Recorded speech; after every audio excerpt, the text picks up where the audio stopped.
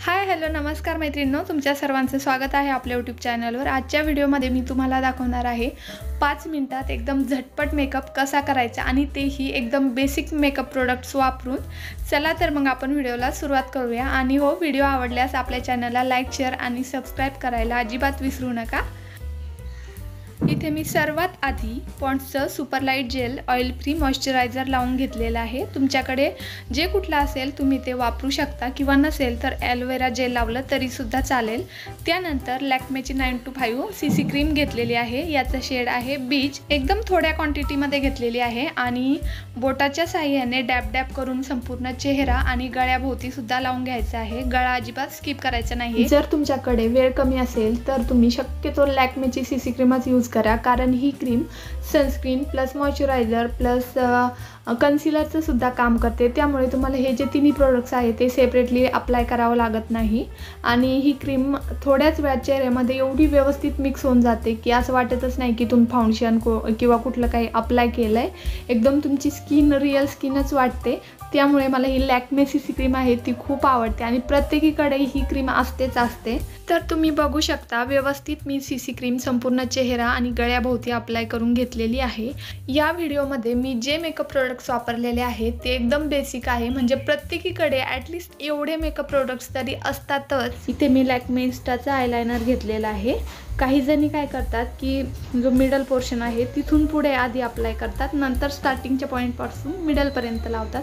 पण मी असं करत नाही. मी एकदम स्टार्टिंगपासून सुरू करते आणि शेवटपर्यंत अप्लाय करून घेते. तसं केल्याने लाईन एकदम इवन येते. आयलायनर अप्लाय करताना दोन्ही डोळ्यांना सारखं लागणं गरजेचं असतं. नाहीतर मग एक डोळा वेगळा आणि दुसरा डोळा वेगळा दिसायला लागतो. असं न करता आरशात व्यवस्थित चेक करून घ्यायचं आहे. जर तुम्हाला आरशात समजत नसेल तर तुम्ही कॅमेरा ऑन करून जरी तुमचा फेस बघितला तर तुम्हाला लगेच समजून जातं. कारण आरशापेक्षा कॅमेऱ्यात तो डिफरन्स लगेच दिसून येतो. कुठं कमी कुठं जास्त लागलं आहे ते. तर ही टिप नक्की तुम्ही फॉलो करा. त्यानंतर मी ते ब्लू हेवनचं काजल पेन्सिल घेतलेली आहे तर मी दोन्ही डोळ्यांना काजलसुद्धा अप्लाय करून घेतलेलं आहे. मागे माझी मुलगी आहे आणि ती कॅमेरा ऑन केला की सारखं मध्ये मध्ये येऊन हाय हॅलो करायची. तर मी एडिट करून बरंचशी क्लिप कट केली आहे प्लीज ते इग्नोर करा. त्यानंतर मी इथे स्विस ब्युटीची आयब्रो पेन्सिल घेतलेली आहे. याचा शेड आहे ब्राऊन आयब्रो पेन्सिल वापरताना नेहमी ब्राऊन किंवा मग ग्रे कलरच यूज करायचा आहे. ब्लॅक कलर वापरला तर ते जास्त डार्क दिसतं चेहऱ्याला. इथे मी दोन्ही आयब्रोजना व्यवस्थित आयब्रो पेन्सिल अप्लाय करून घेतलेली आहे. एकदा अप्लाय करून झाल्यानंतर मागच्या साईडला जो ब्रश दिलेला आहे त्याच्या मदतीने आयब्रोज व्यवस्थित सेट करून घ्यायचे आहे. जेणेकरून जिथे कमी जास्त प्रोडक्ट लागला असेल तो इव्हनली स्प्रेड होईल आणि आयब्रोज एकदम व्यवस्थित उठून दिसतील. बघा इथे मी दोन्ही आयब्रोज व्यवस्थित सेट करून घेतलेले आहे. त्यानंतर मी टिकलीसुद्धा लावून घेतलेले आहे. कारण तुम्ही कितीही मेकअप केला तरी जोपर्यंत टिकली लावत नाही तोपर्यंत चेहऱ्याला तो शोच येत नाही. त्यानंतर मी इथे बेलावटचा लिप क्रेऑन घेतलेला आहे. याचा शेड नंबर आहे ट्वेल्व हा जो लिप क्रेऑन आहे हा माझा एकदम फेवरेट आहे.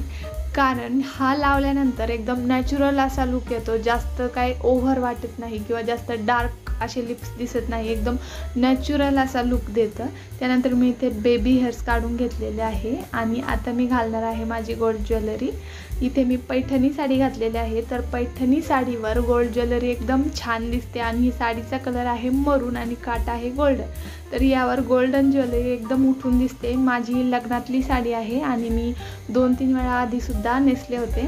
तुम्हाला जर गोल्ड आवडत नसेल तर तुमच्याकडे आर्टिफिशियल कुठली ज्वेलरी असेल तुमच्या चांदीची किंवा मग मोत्याचे दागिने तर ते सुद्धा पैठणी साडीवर खूप छान दिसतात. तर तुमच्या आवडीप्रमाणे तुम्ही तुमच्या आवडीचे दागिने घालू शकता. काहींना आय शॅडो हायलायटर किंवा मग ब्लशर हे सर्व गोष्टी आवडत नाहीत आणि त्या कॉस्टली पण खूप असतात.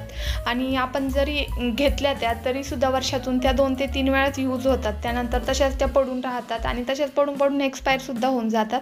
त्यानंतर तुम्ही बघू शकता की मी ते नथसुद्धा घालून घेतलेली आहे.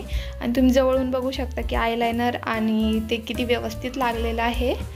त्यानंतर मी इथे बँगल्ससुद्धा घालून घेतलेले आहे. मी इथे मल्टी कलरच्या बँगल्स घातलेल्या आहे. कारण माझी जी साडी आहे ती संपूर्ण मरून आहे. त्यामुळे मी त्या बँगल्स आहे त्या मल्टी कलरच्या घातलेल्या आहे. कारण पैठणीचा जो पदर असतो त्यावर मोर वेगवेगळ्या कलरमध्ये मोर असतात.